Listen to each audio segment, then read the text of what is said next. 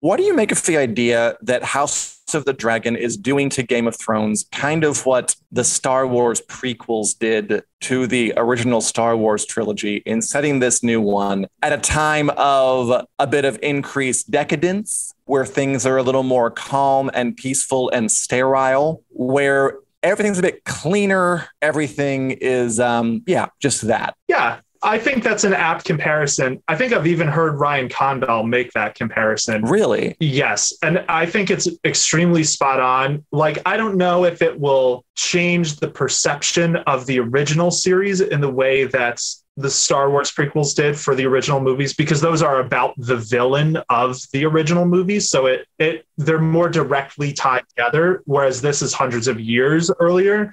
But I think, you know, we heard so much about the Targaryen dynasty, we never really got to see it.